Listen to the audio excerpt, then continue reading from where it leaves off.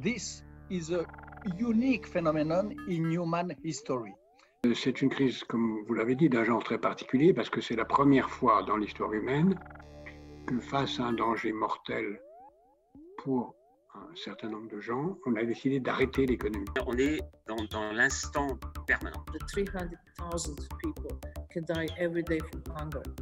C'est aussi, euh, c'est aussi aux citoyens de, de, de dire euh, halte. Euh, je, je, suis surpris par la par l'obéissance des masses. The importance of forming judgments. The importance of saying I will wait to see a transcript before I comment. Ces plaintes ont quelque chose de totalement indécent. The coronavirus has had an, an impact on humanity as a whole.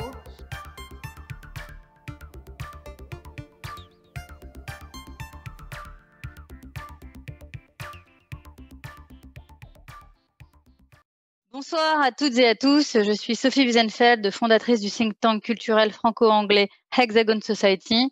Bienvenue à notre Hexagon Academy qui sera lancée officiellement par Frédéric Ancel et qui a l'ambition d'être une véritable école en ligne avec une programmation de cours dispensés par des experts dans différents domaines. Vous serez donc en petit groupe avec le privilège d'un contact direct avec différents intervenants de haut niveau seront proposés des cours de géopolitique, donc avec Frédéric Ancel aujourd'hui et euh, une autre début décembre. Et à partir de la rentrée 2021, des cours de littérature, des cours d'histoire de l'art, des cours d'histoire. Donc vraiment une véritable petite école en ligne. Vous avez été nombreux à nous suivre pour nos ripostes, nos séminaires en, libre, en ligne, pour une parole libre, une parole sans masque et sans gants, où, nous avons eu le privilège de recevoir sur ce plateau virtuel de très nombreuses personnalités telles que Jacques Attali, Bernard-Henri Lévy, Alain Finkielkraut, Frédéric Becbeder, pour en citer quelques-uns, et dont les bénéfices sont allés aux hôpitaux de Paris, aux hôpitaux de Londres et aux librairies partenaires. Et je suis très heureuse de continuer cette aventure avec la Hexagon Academy, avec vous, mon cher Frédéric Ancel, notre invité d'aujourd'hui, qui inaugure notre première leçon avec cette masterclass de géopolitique. Qu'est-ce que la géopolitique au XXIe siècle? Il y a une telle accélération de l'histoire que nous avons à peine le temps de les penser. Ces moments sont donc rares. Un grand merci à toi, un grand merci à vous, les chers élèves. Je vous rappelle que vous pourrez poser vos questions directement par écrit ou à l'oral à Q&A à la fin. Sophie, merci pour ta confiance, pour euh, ta fidélité. Euh, alors, euh, tu me poses une question très très intéressante. Qu'est-ce que la géopolitique? Heureusement, tu m'as laissé cinq heures d'affilée. Je ne sais pas si tu as prévenu hein, quand même les, étudiants, hein, les élèves, comme tu les appelles joliment. Euh, donc, euh, bienvenue, bienvenue. Merci beaucoup pour votre patience à tous. Sérieusement, euh, je vais disposer, je crois, d'un petit peu moins d'une heure, mais en revanche, je serai absolument disponible pour répondre à, toutes vos questions, hein, très très sincèrement. Non, mais je, le dis sans, sans fin et puis sans gants et sans masque, puisque c'est un peu la, la, devise, je crois, de Hexagone. C'est très bien. Il n'y a pas de questions bêtes. Vraiment, hein, je le dis à mes étudiants à Sciences Po, il n'y a pas de raison pour que je ne dise pas, je dise pas aujourd'hui. Euh, qu'est-ce que la géopolitique? On, va commencer comme ça, puis ensuite euh, on va, euh, appliquer en quelque sorte la géopolitique lacostienne, car je vais vous parler de mon maître en géopolitique, bien sûr, Yves Lacoste. Au Covid, on peut l'appliquer à des conflits, à la plupart, la quasi-totalité, sinon la totalité, des conflits à travers le monde, contemporains, moins contemporains. C'est la raison pour laquelle je suis très passionné par cette discipline-là euh, que euh, je mène en professionnel depuis maintenant 27 ans. Alors, je, voudrais commencer par, par, la chose suivante, une définition que je mets dans chacun de mes ouvrages. Euh, j'en ai publié 15. Hein. Le dernier, pardon hein, pour la petite publicité, 100 mots de la guerre, hein, c'est un au plus presse universitaire de France. C'est un que sais-je, donc extrêmement pédagogique, qui se veut pédagogique en tout cas, euh, qui est sorti il y a deux mois. Voilà, je, je, je tiens à le, à le préciser, parce que la définition, c'est fondamental lorsqu'on travaille sur un concept, lorsqu'on traite de questions liées à une discipline particulière. Hein. Une, toute épistémologie euh, demande une, définition. Hein. C'est Reverdy qui disait il n'y a pas d'amour, il y a que des preuves d'amour. Ben, il n'y a pas de géopolitique, il y a que des preuves de géopolitique, il n'y a pas de puissance, il y a que des preuves de puissance. Euh, la euh, définition de la géopolitique, euh, je la tire notamment de, et pour l'essentiel, même si j'ai mis mon petit grain de sel, je n'ai ni Dieu ni maître. Donc, même si le grand géographe Yves Lacoste, 91 ans cette année, fondateur de la revue Hérodote, donc le, la, la, plus vieille publication euh, géopolitique au monde, hein, euh, existante aujourd'hui, elle est française, elle a été créée en 75.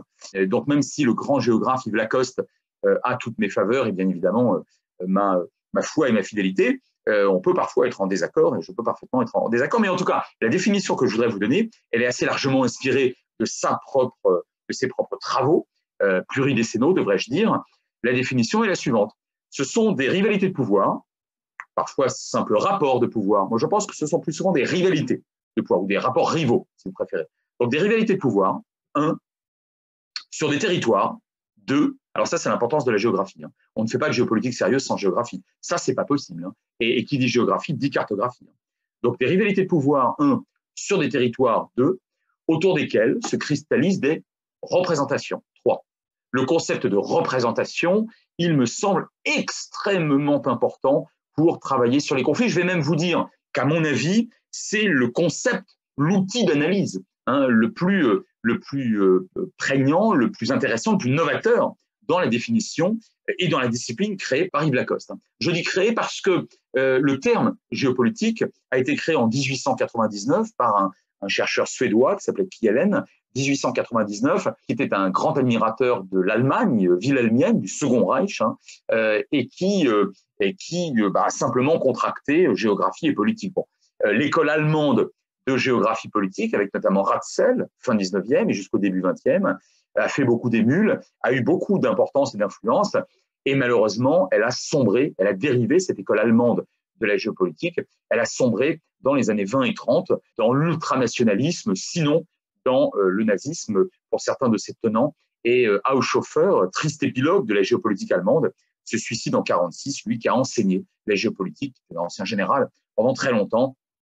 Se suicide avec son épouse très âgée pour éviter euh, de témoigner au procès de Nuremberg qui s'ouvre. Donc l'école allemande, l'école anglo-saxonne qui a été beaucoup moins idéologique, mais plus tardive, dans les années 30, 40, 50, qui traite surtout des, différences majeures entre, majeures à ses yeux, à cette école anglo-saxonne, hein, entre puissance de la mer et puissance de la terre, ne paraît pas toujours très convaincant. Par exemple, les États-Unis sont considérés comme une puissance de la mer, sauf que les États-Unis ont démontré qu'ils savaient parfaitement bien se battre aussi sur les terres. Bon, Pareil pour la Russie. La Russie est considérée comme une puissance de la Terre. Oui, enfin, euh, l'Union soviétique a disposé d'une flotte tout à fait conséquente pendant euh, plusieurs décennies. Bon, ça ne me paraît pas toujours très, très euh, pointu, mais enfin, en tout cas, c'est très intéressant et stimulant intellectuellement cette école anglo-saxonne avec notamment des gens comme Mackinder ou quelques autres dont je vous donnerai les noms, enfin, ça peut vous, vous intéresser, mais qui sont un petit peu moins intéressants que, Mackinder. Et puis, donc, nous avons l'école française avec Jacques Ancel, A-N-C-E-L, je le précise, très bon géographe, et qui euh, a, dans les années 30, été le premier à enseigner la géopolitique en France, c'était en l'occurrence à la Sorbonne ou en Sorbonne, comme on disait, et le premier à avoir écrit un ouvrage qui s'intitulait sobrement Géopolitique. Ça, c'est dans les années 30. Il n'a pas été suivi et euh, il est mort malheureusement en 1943, euh, portant une étoile jaune sur sa veste lorsqu'il sortait de chez lui. L'école géopolitique contemporaine, celle dont on va parler maintenant, celle dont je viens de vous donner la définition tout à l'heure, elle est née donc de ce géographe euh, français euh, Yves Lacoste hein, en 75 et puis depuis, elle a fait beaucoup d'émules, euh, à, tel point que maintenant, vous le savez, la géopolitique est officiellement enseignée aux côtés de l'histoire, de la géographie, de l'économie en terminale.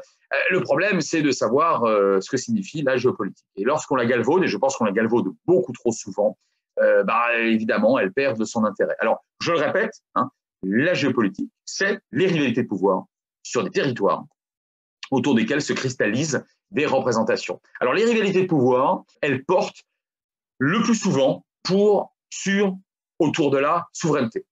Hein. je vous demande, si vous êtes en train de noter des choses, je vous demande de noter ce concept très très important de souveraineté. La souveraineté, c'est ce que j'appelle la matière politique précieuse, la souveraineté. Il n'y a au fond très très peu de conflits, et on l'a vu encore très récemment au Caucase entre l'Azerbaïdjan et l'Arménie, il y a très très peu de vrais conflits, et notamment de conflits létaux-mortels entre États, entre États-nations. Alors il y a d'autres acteurs des relations internationales, mais enfin en tout cas entre les États, euh, on, a des relations qui parfois sont militaires, ce qui n'est pas le cas entre les ONG par exemple, ce n'est pas le cas entre les GAFA par exemple, évidemment, pour l'instant en tout cas, euh, ce qui n'est pas le cas entre d'autres acteurs. Mais l'acteur étatique, lui, en principe, il peut se servir euh, d'armement et il peut, faire la guerre. Il droit faire la guerre. D'ailleurs, l'ONU le reconnaît en 1945. Euh, on y reviendra. Donc, si vous voulez, les, rivalités de pouvoir portent sur la souveraineté. Lorsqu'il y a guerre, en général, pas toujours, mais presque toujours, il y a question de souveraineté. on cherche à se réapproprier ou à recouvrir sa, souveraineté si on l'a perdue. Regardez l'Azerbaïdjan avec les districts autour du, du, Karabakh et même au Karabakh, d'après en tout cas Bakou, hein, c'est pas le, c'est pas pas ce que revendique évidemment Yerevan, mais enfin à Bakou on le revendique. Donc c'est à ce titre-là que Bakou a fait la guerre à Yerevan. La souveraineté, si on l'a perdue, donc on cherche à la recouvrer. Si on n'a jamais eu, on cherche à l'obtenir.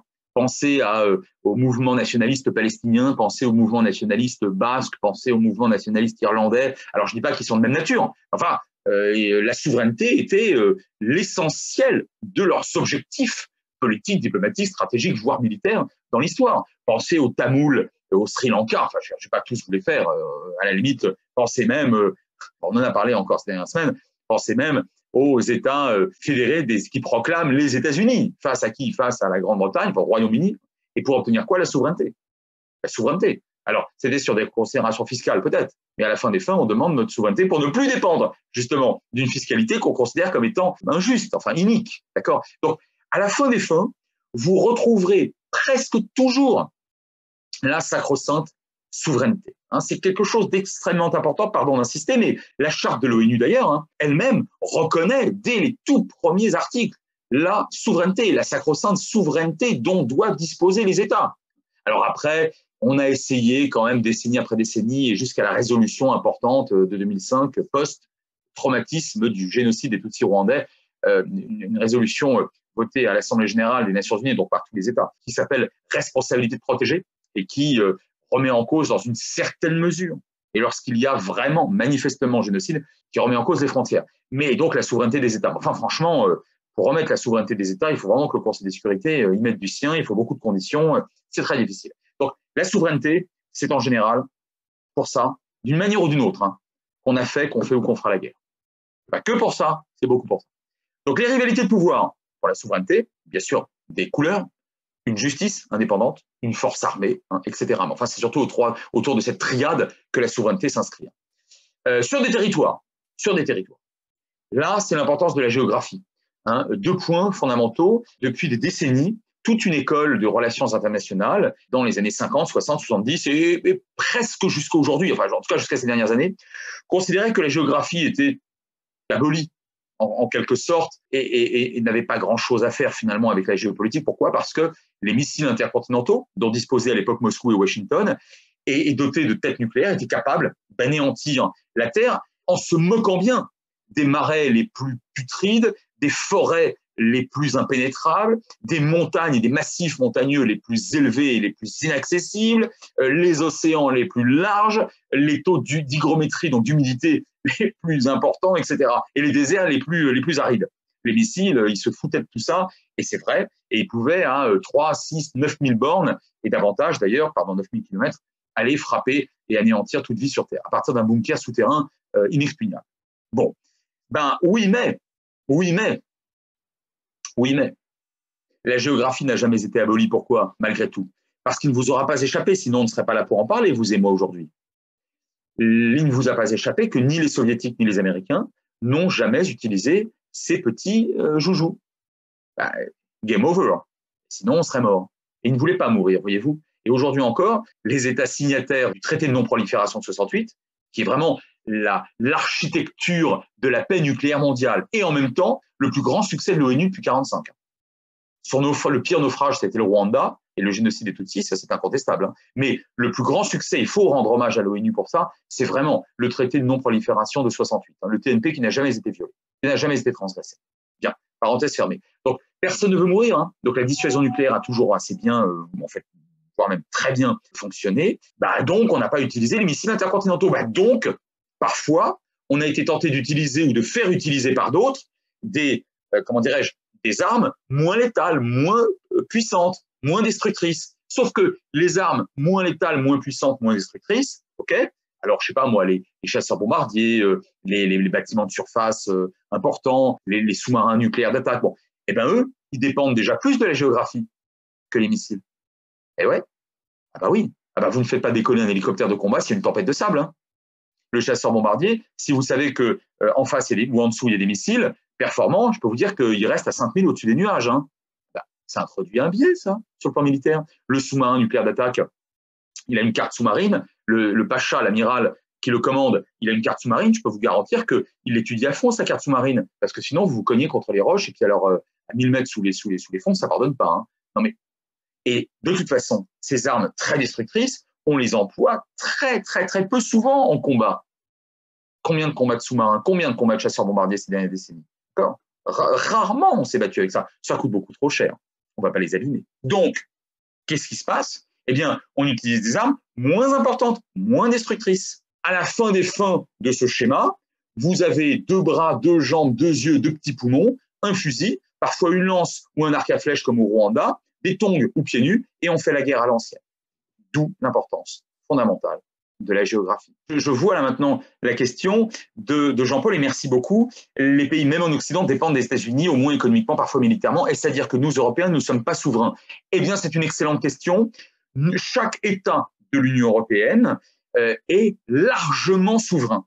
Quand je dis largement, c'est qu'il ne l'est pas totalement. Mais attention, quand Jean-Paul nous dit à juste titre, même en Occident, les pays dépendent des États-Unis, mais on l'a bien voulu.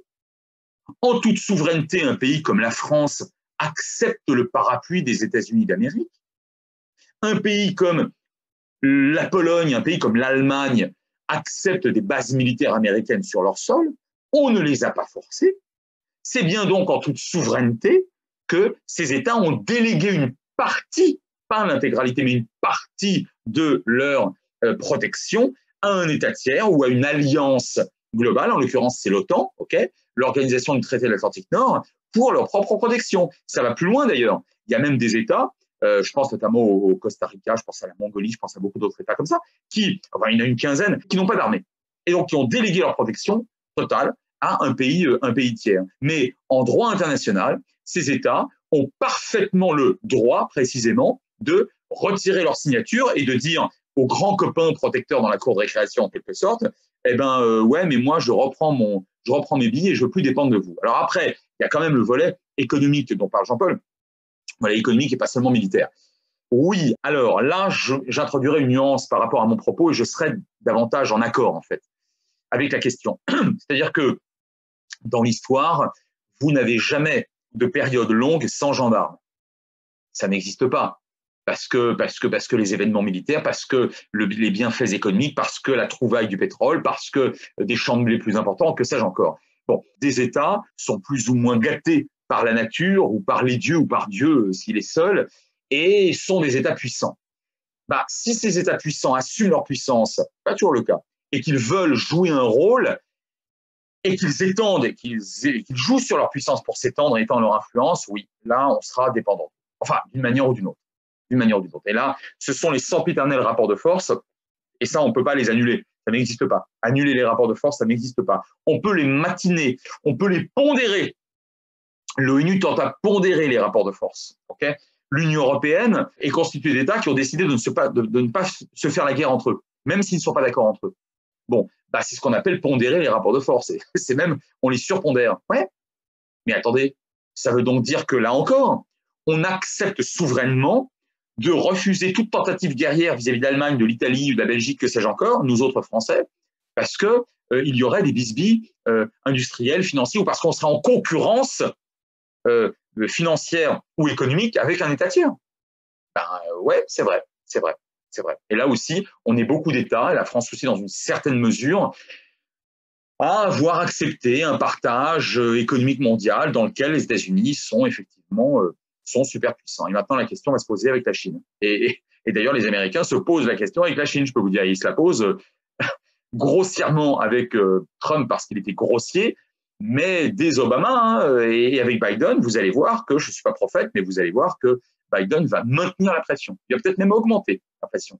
Ne croyons pas que les démocrates soient, soient des gens forcément faibles ou non interventionnistes. C'est pas vrai. Dans l'histoire, c'est même plutôt le contraire d'ailleurs, au XXe siècle. Donc, euh, je pense que ça va se poursuivre. Excellente question. Alors, je, poursuis et n'hésitez vraiment pas. Les réalités de pouvoir, donc sur les territoires, hein, y compris, et je conclue avec ce deuxième point de la définition lacostienne, y compris, et je réponds à l'autre question, euh, y compris avec Internet. Hein. Il, faut, il, faut, arrêter de fantasmer Internet. Hein. Il faut arrêter de fantasmer. Le printemps arabe, grâce à, Internet et aux réseaux sociaux qui permettaient aux jeunes de se retrouver place rire, non, non, non, non et non. Non, pourquoi? Parce que c'est juste un facteur d'accélération des mouvements et des connaissances. Oui, enfin des connaissances et puis du complotisme hein, aussi, des connaissances, oui, enfin des fake news hein, aussi. Donc des connaissances de ce qui se dit. Oui, c'est pas forcément les connaissances du savoir, hein, parenthèse fermée. Euh, et puis, pour l'État, regardez à quel point la Chine, et je pense que personne ne va me démentir, fait un usage extrêmement talentueux également. Vous apprécierez mon sens de la litote et un usage très puissant d'Internet et des réseaux sociaux. Ah bon chat, bon rat. Eh bien pris qu'il croyait prendre. Les révoltés, oui, oui bah, les États sont très forts aussi hein, à ce niveau-là. Et puis les États arabes étaient très forts, les régimes arabes étaient forts, et euh, bien sûr il y a eu un engouement sur les réseaux sociaux qui a permis une accélération de la révolution. Oui, mais comment vous dire ça sans vexer personne? Spartacus, vous savez, au premier siècle après Jésus-Christ, si ma mémoire est bonne, il n'avait pas Internet. Vous savez que la révolte des esclaves euh, à Rome, c'est-à-dire sur un territoire grand comme à peu près euh, l'Angleterre, ou plus grand que l'Angleterre, la France, bon, d'aujourd'hui, vous avez des dizaines de milliers d'esclaves qui euh, sont venus rejoindre Spartacus pour, pour lutter et se battre. Ils ont fait quoi? Ils ont fait Wiki, ils ont fait euh, Twitter, ils ont fait quoi? Insta? Bon, voilà. Et je vous ferai grâce, parce qu'on n'a pas beaucoup de temps et parce que vous êtes tous des gens intelligents, je vous fais grâce de toutes les révolutions ou des mouvements sociaux, sociétaux, politiques, euh, diplomatiques et bien sûr militaires à travers l'histoire. Je vous en fais grâce, mais c'est vraiment parce que c'est vous. Hein. Non, il faut arrêter avec Internet. Internet n'est pas le problème du 11 septembre. À l'époque, pendant des mois et des mois, on m'a dit, mais enfin, la géographie, maintenant, elle est abolie. Regardez, vieux, le nouveau vieux de la montagne, on va l'appeler comme ça, non pas à la mute, mais de son massif en, Afghanistan, donc, ou au Pakistan, donc, euh, en l'occurrence, en Afghanistan à l'époque, donc à, euh, à 8000 km, ou à plus que ça, d'ailleurs, de, New York, il, réussit à frapper des tours avec des avions. Enfin bref, bon, il n'y a, plus de géographie, ma, brave dame. Mais si, ma brave dame, il y a de la géographie. Parce que l'important, c'était pas qu'il envoie son ordre par des pigeons voyageurs, des, tapis euh, tenus par des, par des comanches pour faire des volutes de fumée sur le canyon ou le téléphone. Je rappelle quand même que le téléphone existe depuis la fin du 19e siècle. Hein. Par téléphone, il y a, l'électricité en Afghanistan, pas partout, mais il y en a quand même un peu. Hein, et au Pakistan aussi. Il aurait pu appeler des gens, des complices à New York en disant Allez-y, les gars. Non, mais franchement, Internet, quoi parle-t-on? L'important était de savoir où se trouvaient situés les terroristes et protégés par quel régime politique? C'était où? C'était en Afghanistan, très bien. Ben, les Américains et leur coalition venaient taper en Afghanistan. Sauf que l'Afghanistan, on peut l'envahir. Le Pakistan n'aurait pas pu. Et voilà. Notamment pour des raisons géographiques. Pour des raisons démographiques aussi. Pour des raisons militaires aussi. Mais aussi pour des raisons géographiques. Ça, c'est la géopolitique sérieuse, ça. Hein, c'est pas l'Internet mania qui n'explique rien du tout. Ça, c'est la paresse intellectuelle. Considérer que l'Internet, c'est une révolution, c'est la paresse intellectuelle. Je conclue mon deuxième terme de, la, de la définition et je réponds, c'est promis. Depuis la nuit des temps, l'homme se bat sur la Terre, il se bat où il fait du commerce, il, fait du, transporte des choses, etc. Bon, très bien. Il se bat depuis euh, un peu moins de temps, mais sans doute depuis très longtemps sur les mers. Il se bat depuis 1914, ça c'est daté signé, hein, dans les airs. Bon, bah maintenant, il fait tout ça dans le cyberespace. Oh là Quelle révolution conceptuelle et philosophique, dis donc Oh là là là là C'est un quatrième théâtre d'opération. Oui, bon, so what hein, Comme vous dites, vous, en Angleterre, so what alors, je réponds, avant de passer au troisième terme de ma définition, à euh, Joël Amselem. Merci pour ces gentils mots. Vous comprenez ma question essentielle sur le point US. Chine, la Chine ment sur les morts du Covid, mais personne ne le dit. Eh bien oui, Joël Amselem a raison. Tout État autoritaire, et a fortiori tout État totalitaire, a besoin, c'est un besoin structurel et vital de mentir. Sinon, il ne reste pas au pouvoir il ne peut pas se pérenniser s'il ne ment pas. Alors, vous avez bien évidemment différentes natures du mensonge et vous avez plusieurs degrés de, euh, mensonge. Un État autoritaire intrinsèquement ment. Ça ne veut pas dire que les démocraties ne mentent pas à certains moments. Nixon avait menti, ok. D'autres chefs d'État occidentaux ont menti. Parfois, ça leur a coûté cher le pouvoir ou une élection, comme en Espagne en, 2004. Euh, bref, des exemples, vous en avez tous en tête. Et, je vous, là aussi, je vous fais grâce de Johnson parce qu'on n'a pas le temps d'y revenir, mais sur le Brexit, il y aurait beaucoup de choses à dire. Parenthèse fermée. Donc, Trump ment effrontément depuis quatre ans et plus, mais à un niveau jamais atteint dans une démocratie. Donc, on ment aussi en démocratie, mais dans une dictature, vous ne pouvez pas ne pas mentir. Alors maintenant, la Chine, d'une manière ou d'une autre, je ne sais pas comment, il faut qu'il y ait une enquête internationale, qu'évidemment, Pékin bloque aujourd'hui, évidemment, pas, pas qu'à faire. Mais le Covid apparu sans doute en novembre, peut-être un peu plus tôt, novembre. Au pire décembre, a priori c'est novembre. En Chine, je ne suis pas complotiste, surtout pas moi. J'ai fondé les assises nationales antinégationnistes, c'est pas pour être complotiste. Hein. Et de toute façon, les Chinois sont trop malins et trop intelligents pour avoir risqué de créer une espèce de guerre bactériologique parce que ça leur aurait retombé dessus. Ils ont perdu plusieurs points de PIB, ils ont perdu en crédibilité. tout ça, je pense, n'a pas de sens. Ils n'ont pas fait exprès. Mais, mais je pense qu'il y a de sérieux doutes tout de même sur la capacité qui a été la leur de faire gaffe et de ne pas euh, laisser échapper quelque chose. Moi, je pense qu'ils ont laissé échapper. Je pense qu'il y a eu un problème technique et logistique. Peut-être pas les seuls, peut-être pas les seuls. hein. Alors, c'était dans le centre co-construit avec la France, oui, non. La vérité, c'est que j'en sais rien. Mais enfin, on lit des choses extrêmement sérieuses et concordantes là-dessus.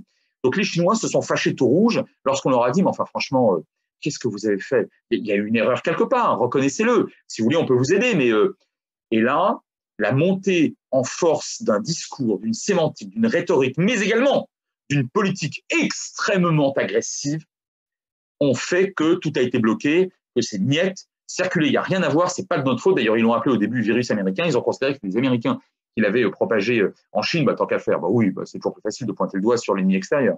Et ils n'ont, comme par euh, enchantement et comme par magie, aujourd'hui plus aucun cas. Ce n'est juste pas vraisemblable.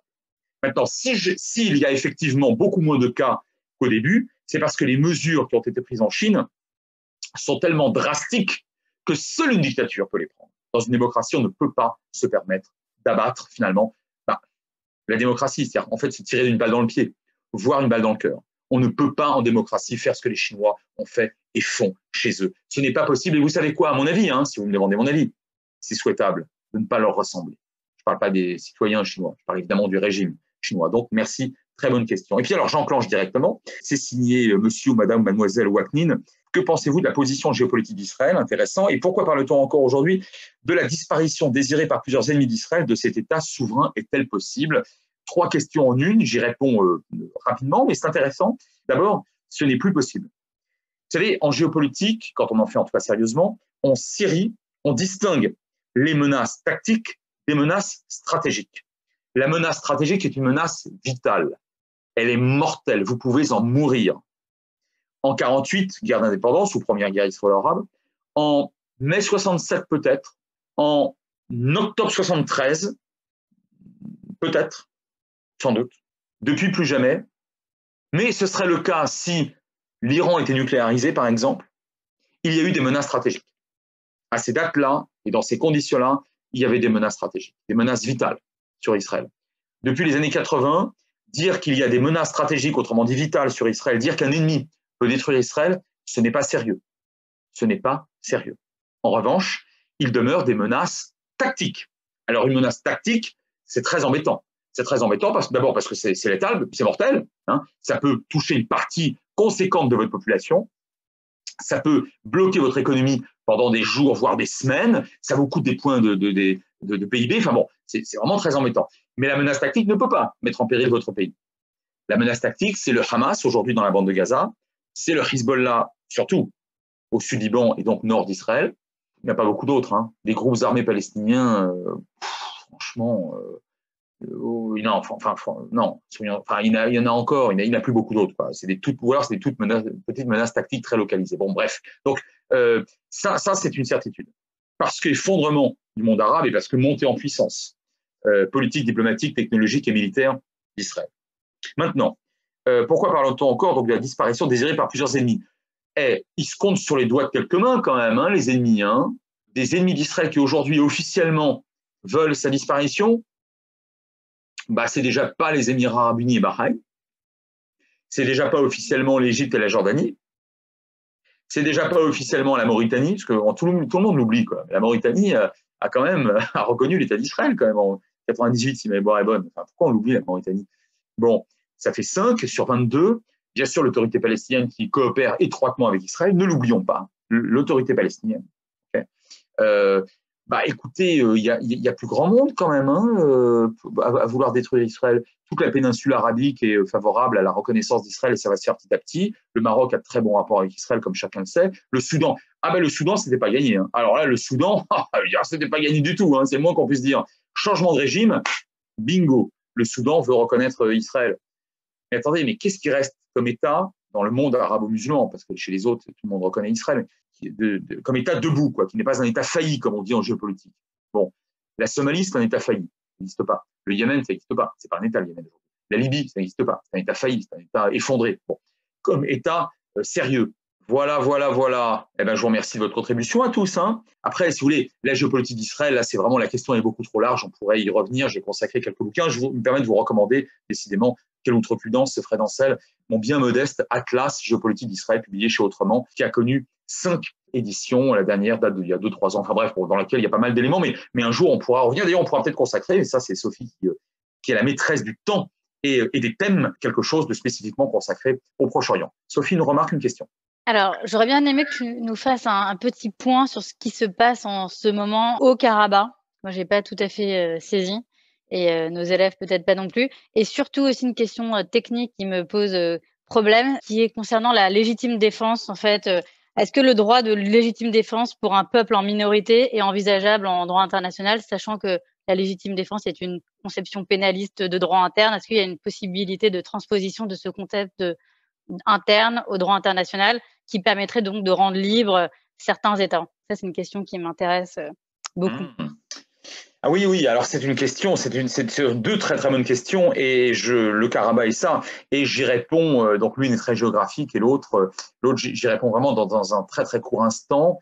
Je conclue avec ma définition, mais, mais tu vas voir qu'elle est importante et que ça va t'intéresser et que ça va intéresser d'ailleurs également la question suivante. Rivalité de pouvoir, un, sur des territoires, deux, trois, des représentations, autour desquelles se cristallisent des représentations. Je vais vous dire, c'est simple. La représentation, c'est une perception à la fois identitaire, collective, et inscrite sur des temps longs, chers à l'historien Fernand Brodel, feu Fernand Brodel. C'est une perception, donc c'est subjectif, un sentiment, à la fois collectif, il peut être national, il peut être religieux, il peut être tribal, il peut être planique, il peut être linguistique, il peut être ce que vous voulez. Un, sentiment collectif, représentation, un sentiment collectif, une perception collective, identitaire, identité, hein, c'est pas du matériel euh, hier par rapport à demain, identité, et sur des temps longs, donc depuis des siècles ou des dizaines de siècles. Okay et les représentations, elles sont évidemment multiples. Mais comment aujourd'hui les Arméniens se représentent? Je te réponds directement. Cette définition, il faut la faire vivre, elle est très efficiente, donc j'utilise tout de suite. Comment les Arméniens se représentent les Azeris, les Azerbaïdjanais? Ils se les représentent comme des Turcs. Ah ben oui, mais c'est intéressant ça. Ah oui, mais c'est intéressant parce que l'Azerbaïdjan est souverain. Hein est souverain. C'est pas, pas des Turcs. Oui, mais ils parlent une langue turcophone. Ils sont très turcophones, une langue très très proche du, turc. Et ils sont, très, ils sont alliés aux Turcs. Oui, mais c'est quand même pas des Turcs. Oui, mais si les Arméniens les, se représentent comme des Turcs, ça signifie qu'ils sont aussi dangereux que les Turcs le furent en 1915. Vous voyez très bien à quoi je fais allusion. Et référence directe, le génocide. C'est intéressant ça.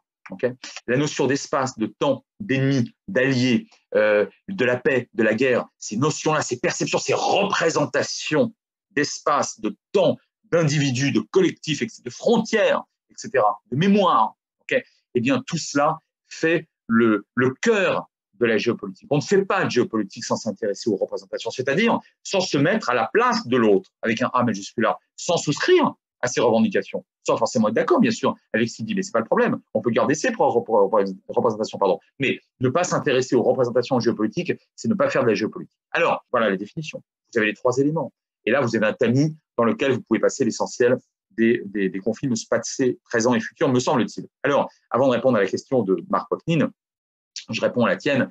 Il y en a deux. Alors, Karabakh et droit international. Alors, le, Karabakh, c'est l'illustration du cynisme stalinien euh, le pire. Quoi. En 1923, euh, Staline, qui est dévolu à, l'organisation du territoire, alors que la révolution bolchevique vient de l'emporter que l'URSS vient d'être proclamée en 1922, Staline, bah, qu'est-ce qu'il fait ce gros malin? Prétendument, Lénine, Staline et Trotsky euh, accordent le droit au peuple de l'URSS d'être, euh, alors non pas souverain, mais en tout cas autonome dans leur fédération, dans leur euh, oui fédération respective, et, de pouvoir quitter l'URSS quand bon leur semble. Oui, sauf qu'avec le Soviet suprême, évidemment, pour diriger tout ça, c'est compliqué. Mais surtout, on va établir des, des tiroirs, c'est-à-dire qu'on va mélanger les populations sur le plan statutaire. Le Karabakh, ou l'Artsar, comme l'appellent le, les Arméniens, a toujours été à majorité, voire à exclusivité arménienne depuis la nuit des temps.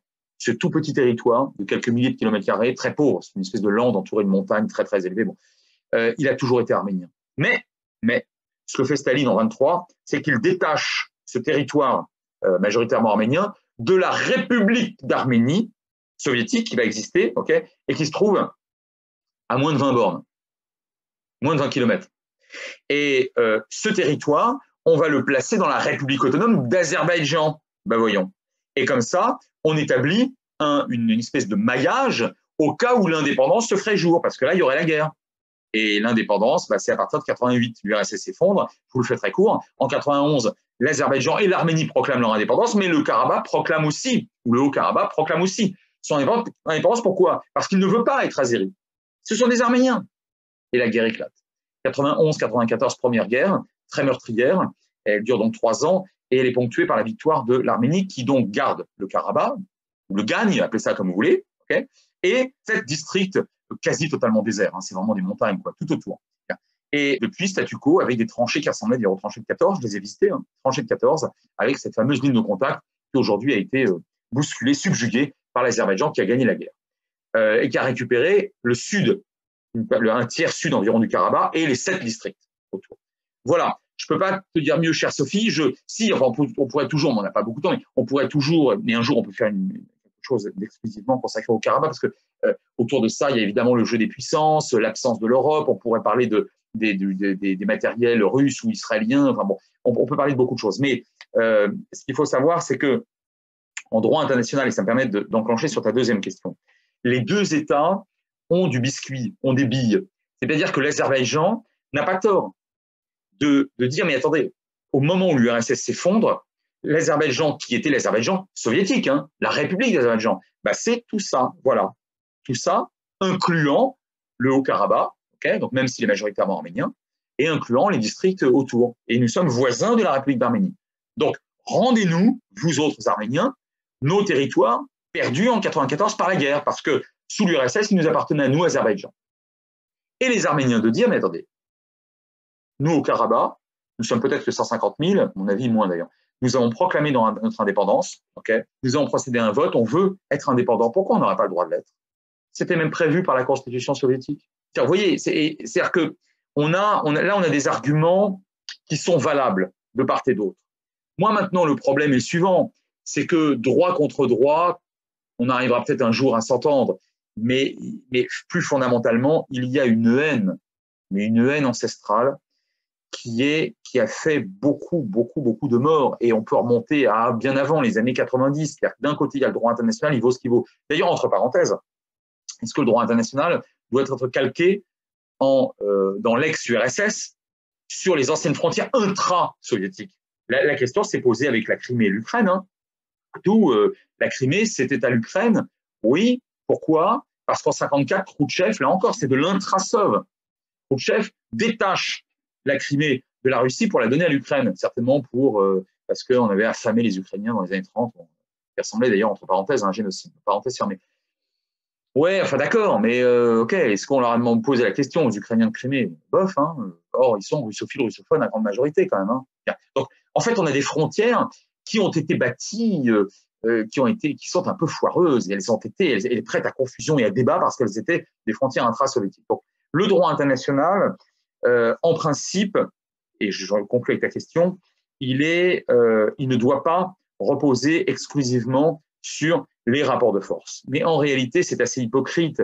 C'est-à-dire que une frontière est toujours plus ou moins le fruit d'un rapport de force. Attention, le plus souvent, c'est d'un rapport de force diplomatique. Oui, bon, ben d'accord, mais tant mieux, très bien, heureusement. Mais, mais très souvent, mais même ce rapport de force diplomatique, vous savez, les diplomates sur les tapis verts, qu'est-ce qu'ils font en général dans l'histoire? Ben, Ils mettent en musique ce qui a été réglé sur le champ de bataille quand même. Hein. Font ça, les diplomates. Donc, mettre en musique, mais enfin, derrière, avant, il s'est passé quelque chose quand même. En général, c'est violent. Et parfois, ce sont des, frontières, sont des, euh, euh, ou des États-nations, sont les émanations de rivalités très dures, qui ont fait couler le sang. Maintenant, autre hypocrisie, si vous avez respect, enfin, si vous voulez respecter strictement le droit international à la lettre de la charte de l'ONU de 45, bah, il faut que vous laissiez, je vous le disais un peu tout à l'heure, se perpétrer un génocide au sein de cet État ah bah, il fait ce qu'il veut chez lui quand même, hein, l'État. Voilà. Ben, euh, moi, je ne suis pas tout à fait d'accord avec ça. Mais en même temps, ne pas être d'accord avec ça, c'est compliqué, parce que le droit, vous savez, tu le sais très bien, et sans doute mieux que moi, euh, chère Sophie, qu'à une virgule près, euh, droit, le droit c'est par définition d'une rigueur absolue. Il n'y a pas d'interprétation. On peut interpréter le droit, mais enfin, le droit doit laisser le moins d'espace possible aux différentes interprétations, notamment en matière géopolitique. Je ne sais pas si je t'ai correctement répondu. Cela dit, nous pourrons très bien consacrer le jour Là, c'est un, là, c'est une introduction générale. Et un jour, on peut très bien faire une, une masterclass comme tu l'appelles, exclusivement réservée au droit international, c'est sans aucun problème. Bah, merci beaucoup, tu m'as très bien éclairé sur, cette, sur ce point. Alors, euh, je vois Léa Watnin. Euh, ne pensez-vous pas qu'il serait temps dans nos pays occidentaux de reconnaître leur implication dans certaines guerres géopolitiques meurtrières comme en Afghanistan? Je ne sais pas si je comprends bien la question. Est-ce que la question porte sur la légitimité de cette, de, cette guerre Alors, si c'est ça, d'abord, ou, ou, si, si, le terme pardon, de, guerre, parce que là, du coup, ça renvoie à la question de Sophie du droit international. Parce qu'en fait, on ne proclame plus la guerre, on ne déclare plus la guerre depuis 1945. Ça, ça, a des implications très importantes d'ailleurs. Hein. C'est vrai sur la question du terrorisme, c'est vrai sur la question des, des conflits euh, classiques, genre Azerbaïdjan-Arménie. Quoi. On lance une offensive, on la reconnaît plus ou moins, d'ailleurs, on n'a pas de guerre. Et c'est pas qu'en Occident. L'Azerbaïdjan n'est pas vraiment un pays occidental, enfin plus ou moins, mais bon, il n'est pas considéré comme tel. Euh, si on ne l'assume pas, ça veut dire qu'on n'assume pas les articles de loi qui prévoient de euh, sanctionner, par exemple, la trahison ou la haute trahison en temps de guerre. Ah oui. Ok. Euh, ça implique que bah, il n'y a pas d'accord de paix. Bah, si, on ne sait pas déclarer la guerre, pas besoin d'accord de paix. Ça, implique beaucoup de choses, hein, le fait qu'on se et ça implique que nos ministres ne sont plus que des ministres de la défense ou des armées. En Occident, il n'y a plus de ministre de la guerre. Dans les années 30, il y avait un ministre de la guerre. Dans les années 50, il y a un ministre de la guerre. Aujourd'hui, il n'y en a plus.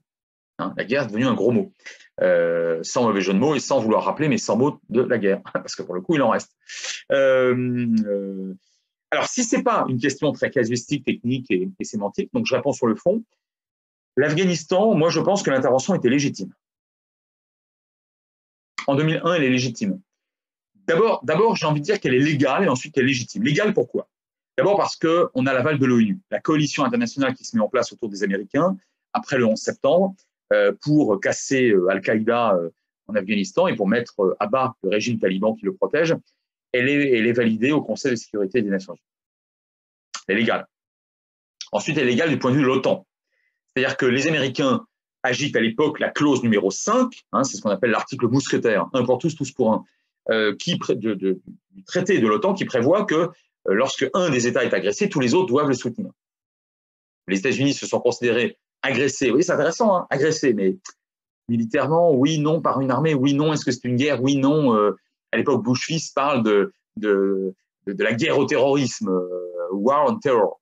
Ok, mais enfin bon, pardonnez-moi l'accent Ancello, Bouchien. Bon, mais euh, ok, mais enfin la guerre au terrorisme, la guerre c'est un phénomène, c'est pas un État, c'est pas une personnalité, c'est pas une tribu, euh, c'est compliqué quand même. Hein, bon, quelles sont ses frontières dans le temps, dans l'espace, au terrorisme, etc. Il n'y en a pas. Une guerre universelle permanente, c'est pas terrible hein, comme concept.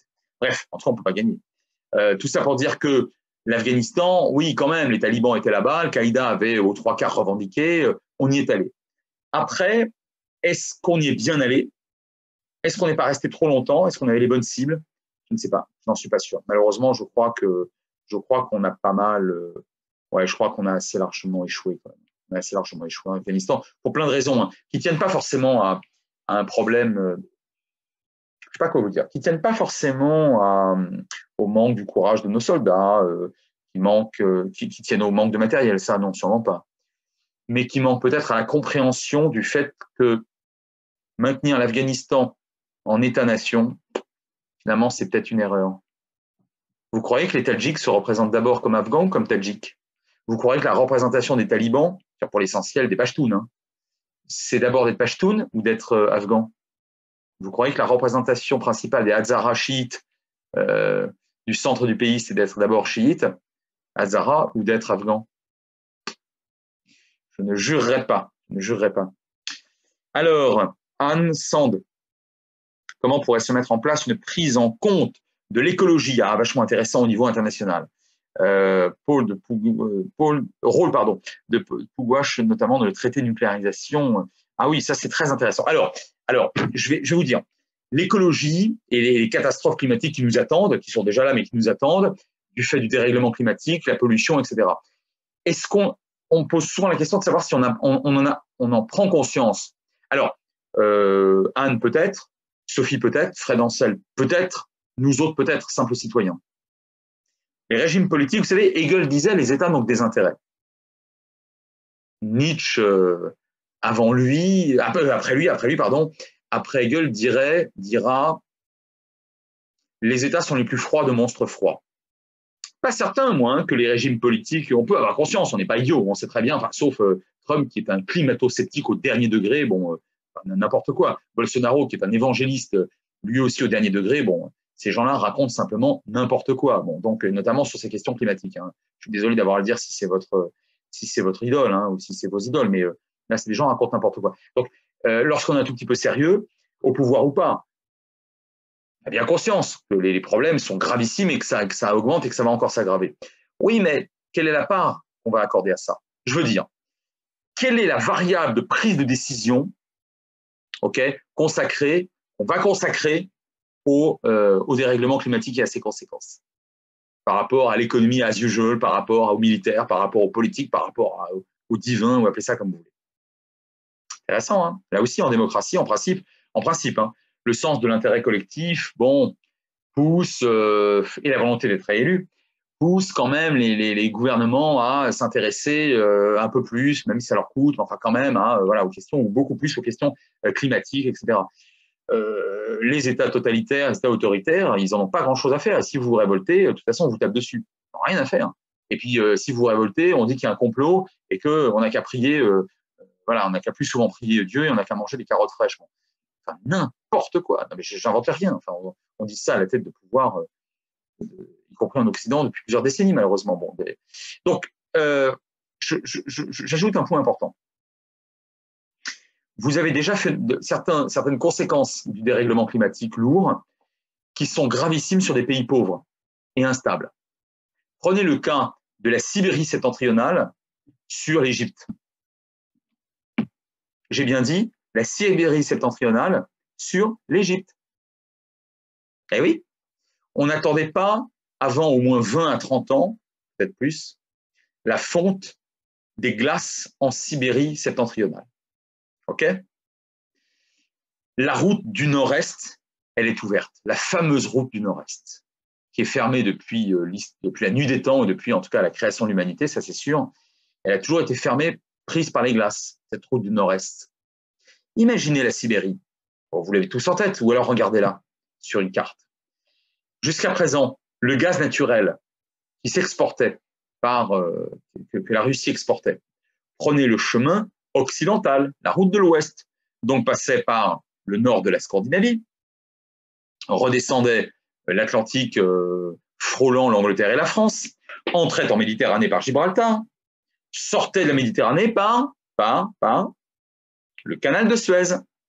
Ça faisait beaucoup de bateaux. Et ensuite rejoignait l'Asie. Mais vous savez que, et bien sûr l'Europe et l'Asie, mais vous savez que euh, la, le, trafic sur le canal de Suez est la première rente économique de l'Égypte. Vous vous rendez compte de ça quoi. La première. Eh bien, l'ouverture de la route du Nord-Est, ça permet de gagner un tiers de temps. Un tiers de temps, donc euh, un peu moins, mais pas mal d'argent quand même quelque sorte, en, coût de transport. Euh, et là, vous atteignez directement le Japon, très gros client, la Chine, très gros client, l'Asie du Sud-Est, très gros client, l'Inde, très gros client, l'Australie, très gros client. Voilà, voilà, voilà. Et j'ajoute un dernier point, cette question très intéressante. Hein. Je suis de ceux qui pensent que le dérèglement climatique et ses conséquences seront contrôlées et finalement assez peu graves sur les Pays-Bas, qu'elles ne seront pas contrôlées et gravissimes sur le Bangladesh. Pourquoi je prends ces deux États? Pour en prendre beaucoup d'autres, des, mais voyez bien ce que je veux dire, vous êtes intelligent, vous voyez bien ce que je veux dire. C'est-à-dire que euh, selon, un, le degré ou le niveau d'intérêt collectif, le sens de l'intérêt collectif, et la faiblesse de la corruption au pouvoir. En général, ça va, ça va en même temps et la qualité de la classe dirigeante, si vous préférez. Bon. Selon ça, selon le niveau d'ingénierie et de technicité dont on dispose, et selon les financements dont on dispose et qu'on crée, enfin les richesses qu'on crée, donc des financements dont on dispose, vous, comprenez bien que les Pays-Bas, que la mer monte ou qu'elle se réchauffe et qu'il pleuve beaucoup, qu'il pleuve plus du tout, euh, ou que sais-je encore, on va s'en sortir. Je vous dis pas qu'il n'y aura pas de dégâts humains et matériels on va s'en sortir. On va très bien s'en sortir. Au Bangladesh, vous n'avez pas tout ça. dans une centaine d'États, un petit peu plus que compte l'ONU, l'ONU en compte 193, dans une centaine des 193 États, on ne dispose pas de cette triade valeureuse, valorisante. OK? Et parfois, on ne dispose pas du tout d'aucun de ces trois éléments. Et là, on est déjà en train de souffrir depuis pas mal d'années, et on va souffrir davantage encore. Voilà. Et n'imaginez pas un plan Marshall. Hein. Je veux dire qu'on en est loin là en ce moment. Donc, euh, l'inégalité, c'est toujours pareil. Hein. C'est toujours pareil. C'est pas le phénomène, à moins qu'un jour euh, des, euh, dirais-je, une pluie de, météorites s'abatte sur tous les pays du monde. Mais euh, alors oui, oui, le Covid, oui, le Covid, ça touche tout le monde. Plus ou moins, oui, d'accord. Non, mais même, même les, économies, les économies qui tiennent de qui, sont saines, s'en sortiront, s'en sortiront. Les autres moins, c'est tout, c'est comme ça, comme ça. On, peut y remédier, mais on peut y remédier, mais c'est une décision politique, c'est de la politique et de l'économie. C'est pas, c'est pas la nature hein, qui, nous, qui, nous, qui nous casse les pieds. Hein. Dame nature, écoutez, elle évolue, euh, elle en verra d'autres. Hein. Et puis le jour où l'humanité aura disparu, euh, ça j'en suis absolument convaincu, elle disparaîtra. Ah bah écoutez, elle, en verra d'autres. Hein. Et même si on l'a beaucoup polluée, euh, moi je pense que elle est là pour encore quelques millions, quelques milliards d'années la Terre. Non, non, mais elle en verra beaucoup d'autres hein, des systèmes. Oh. Non, non, il faut la préserver pour nous, parce que c'est notre vie qu'on préserve en préservant la Terre et les conditions d'existence humaine sur la Terre. Voilà. Moi, je pense que c'est surtout les inégalités euh, criantes, flagrantes, qui vont se manifester plus encore dans ces prochaines, dans ces prochaines années. Alors, Jean-Luc, en Afghanistan, y avait-il eu avant l'invasion soviétique? Ah oui, bien sûr, décembre 79. Oui, fin décembre, bien sûr. Il y a invasion soviétique. Et là, les Américains, avec Ronald Reagan qui arrive au pouvoir, jouent à fond sur les Moudjahidines qui vont lutter contre l'occupation soviétique. Normal, légitime, logique. Normal, logique et légitime. Mais les Américains, fidèles à leur politique étrangère très liée à une religiosité dont ils sont eux-mêmes emprunts, vont soutenir Gulbuddin et Matyar et les, et les, et les, et les les plus islamistes, considérant que ce sont des good guys. Et c'est Reagan qui parlait de good guys, parce que c'était des gens croyants, croyants et pratiquants. Vous savez, euh, nous en France, dans la France laïque et républicaine, on a soutenu Saddam Hussein, le dictateur irakien euh, sanguinaire et, euh, et, et voleur, massacreur, inconséquent et agressif, sous prétexte qu'il était laïque. Bon, donc on n'a pas beaucoup de leçons à donner aux Américains, hein. mais je pense que là, en Afghanistan, il y a eu un intérêt, une légitimité à intervenir. Je pense qu'en 96, lorsque d'abord les Russes partent en 89, et dans les années qui suivent, euh, Clinton, Bill Clinton, qui n'a pas été, qui est un personnage très sympathique, mais qui n'a pas été un grand président en matière d'affaires étrangères. Hein. Barack Obama, je l'aime beaucoup, c'est un personnage très sympathique, ça n'a pas été un grand président en matière d'affaires étrangères. C'est comme ça, c'est tout. Ronald Reagan a été un grand président. Donc euh, c'est ainsi. Hein. Donc euh, Ronald Reagan, franchement, euh, n'aurait pas juré hein, à l'époque. Bon, bref, en tout cas, pour vous dire que, et je conclus parce que la maîtresse du temps et, du, thème me fait des, gros yeux, à la fois sévères et très fraternels au demeurant. Hein, et donc, je, réponds. Deux questions encore. Absolument. Ah. Je réponds, voilà, dernière question, je réponds juste euh, à ça. Ah, mes questions, ah, elles ont disparu. J'ai cliqué sur quelque chose et mes petites mes questions ont disparu. Excuse-moi, est-ce que tu veux bien, Sophie, t'en oui. Je vais te redire. Alors, il y en a une question à l'oral, on terminera par celle-ci, mais sinon, il y a une question de Paul Labed. Quelle sera selon vous, l'impact des accords de coopération récents établis entre Israël et les Émirats arabes unis sur le processus de paix israélo-palestinien? Alors, très bonne question.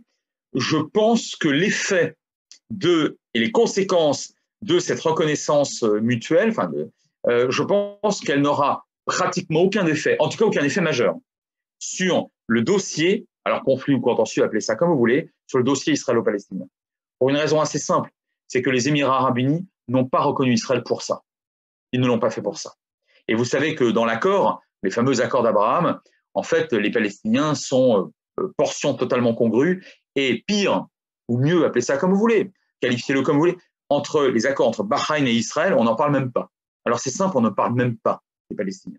Donc, je vous dirais que ça n'a pas été fait pour, que pour l'instant, le vrai danger perçu, représenté par les Émirats arabes unis, c'est certainement pas Israël, c'est l'Iran.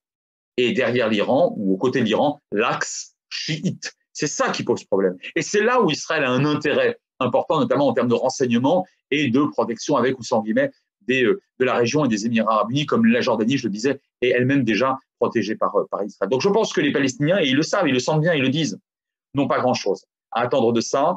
Pour qu'il y ait déblocage, et je conclus, euh, Sophie me demande et j'obéis finalement, euh, il faudrait vraiment que à Washington, là où ça peut se faire, Joe Biden tape du poing sur la table, comme Barack Obama l'avait fait, hein, lui sans succès, mais que Biden tape du poing sur la table et qu'il décide, euh, en exerçant des pressions de part et d'autre sur les partenaires, hein, euh, avec des carottes et des bâtons, euh, et rétablisse un processus de paix.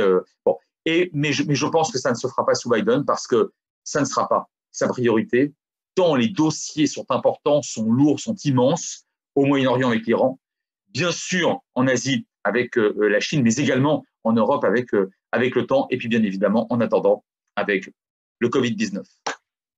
Alors, une dernière question, merci beaucoup. Frédéric de Fernand Wiesenfeld. On va l'autoriser à parler si ça marche. Euh, mais je ne sais pas comment faire. Avec joie. Est-ce qu'on m'entend? Oui, on t'entend. Bonsoir Frédéric, ça fait. Bonsoir Fernand. Toi, toi, toi, que j'ai connu dans les années 90 et qui par conséquent peut me tutoyer, s'il te plaît. Bah oui, c'est ce que je c'est ce que je comptais faire. Et tu vois qu'avec ce, avec Sophie, la, la, voie a été tracée et continue de manière euh, magnifique. C'est le moins qu'on puisse dire. Voilà. Alors, juste, euh, je ne veux pas prendre trop de temps, mais euh, personnellement, je pensais que avec l'affaiblissement des diplomatiques au niveau mondial des États-Unis, l'Europe, petit à petit, qui était quand même à l'aube de la Première Guerre mondiale, la première puissance du monde, qui était encore extrêmement puissante à l'aube de la Seconde Guerre mondiale. Je pensais que l'Europe pourrait reprendre sa place dans le jeu diplomatique international après avoir été incapable de régler directement le conflit qui pourtant était en Europe de la Bosnie. C'est quand même l'OTAN et euh, les États-Unis qui l'ont réglé. Euh, on s'aperçoit qu'il se passe rien, qu'il n'y a pas de diplomatie sérieuse européenne, qu'on n'intervient pas en Arménie, qui est une enclave laïque en pays musulman. C'est pas euh, stricto sensu en Europe, mais enfin c'est à nos frontières. Qu'on laisse tomber les Kurdes, euh, qui euh, ont pourtant largement aidé tous les pays européens à combattre contre Daesh et qui quelque part sont peut-être une protection par rapport à, à cette volonté hégémonique de notre ami Erdogan. Donc ma question, en fait, pour en arriver à la question, c'est est-ce qu'il y a une chance de voir, et, si oui, en s'y prenant comment, l'Europe être autre chose qu'un observateur dont j'ai l'impression malgré tout qu'ils se sont, après s'être vendus un petit peu aux Américains sur le plan économique, sont en train de, se vendre aux Chinois sur le plan économique également. Donc, euh, voilà, l'Europe devrait avoir une place à jouer dans la géopolitique mondiale, ne la joue pas. Euh, et je voulais savoir d'abord ce que tu en pensais et quels étaient euh, les facteurs qui pouvaient effectivement changer cet état de fait que je considère comme tout à fait désastreux. Merci beaucoup, euh, Fernand. Tes questions étaient déjà excellentes dans les années 90. Manifestement, tu, tu, es toujours aussi, moi pas faillot, pas du tout, je suis sincère, et toi toujours aussi excellent observateur euh, sur le plan géopolitique, l'Europe, l'Europe. Il faudrait vraiment y consacrer euh, une séance entière. C'est peut-être ce qu'on fera. En tout cas, en tout cas, euh, ça c'est Sophie qui décide. Mais en tout cas, quand on parle de l'Europe, il faut bien savoir de quoi on parle. L'Europe du traité de Rome de 57 n'a qu'une vocation économique. L'Europe de la communauté économique européenne, donc de la CEE, e, mais même au fond l'Union européenne de 95, avec le traité constitutionnel, a, pas exclusivement, mais majoritairement, massivement, une vocation économique commerciale.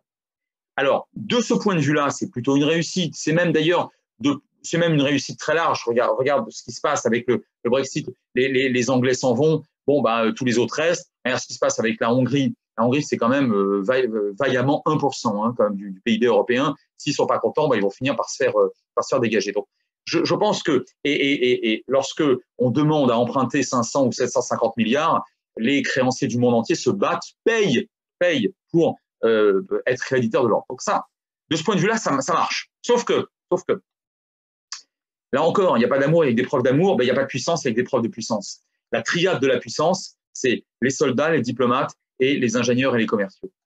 Soldats, diplomates, ingénieurs et commerciaux. Et si tu n'as que du commerce de l'industrie du commerce, fut-il high-tech, fut-il euh, avec de très très bons vendeurs, hein. ça ne suffit pas La diplomatie, oui, mais si ta diplomatie ne s'appuie pas sur des bâtons, si tu n'as que des carottes à, à offrir, tu n'es pas suffisamment crédible. Et c'est exactement le cas pour l'Europe. Donc c'est pas que l'Europe marche pas, c'est que pour l'instant, on n'est pas allé, on est au milieu du guet, on n'est pas allé plus loin. Et je rends grâce, et je m'arrête là parce qu'on pourrait le développer sur plusieurs heures, mais je rends grâce à euh, Emmanuel Macron et à Angela Merkel, entre autres souverains, mes enfants en particulier à eux deux, parce que ces dernières années et ces derniers mois en particulier, avec des prérogatives matières d'affaires étrangères et défense assez faibles pour Mme Merkel, hein, plus importantes pour la France, mais euh, elle ne peut pas tout faire, hein, surtout dans ce, dans ce secteur-là. Euh, moins qu'on puisse dire, puis dans un an, elle n'est plus là. Donc je rends grâce à ce tandem d'avoir contribué ou d'avoir accéléré ou accentué la prise de conscience qu'il me semble voir quand même. Peut-être, Fernand, suis-je trop optimiste, on verra bien. Face, un, à la grossièreté, à l'inconséquence et à la nullité de Trump, qui de toute façon aurait cassé l'OTAN. L'OTAN aurait été cassé s'il avait été réélu. Et, euh, et, la Chine. Et la montée en, agressivité de la Chine. Quand tu dis on se vend à la Chine, jusqu'à présent, je te suis, c'est-à-dire qu'on a été beaucoup trop naïf. Je pense qu'avec l'affaire du Covid, avec une diplomatie chinoise de plus en plus agressive, et de l'autre côté, avec un, Trump, mais qui d'ailleurs, entre parenthèses, a suivi la tendance lourde Obama et même Bush fils, c'est-à-dire des présidents qui euh, s'intéressaient beaucoup moins, alors pour plein de raisons, mais notamment parce qu'elle n'est pas assez intéressante du point de vue stratégique et militaire. Notamment, c'est à la fois cause et conséquence des intérêts américains vis-à-vis de l'Europe. on le crée, ça aussi, on le suscite, ça aussi. Eh bien, pour toutes ces raisons-là, pour ces deux grandes raisons, auxquelles il faut ajouter, j'en finirai, auxquelles il faut ajouter, tu as parfaitement raison de le mentionner, euh, la politique euh, expansive et en réalité extrêmement dangereuse et duplice du président turc Erdogan.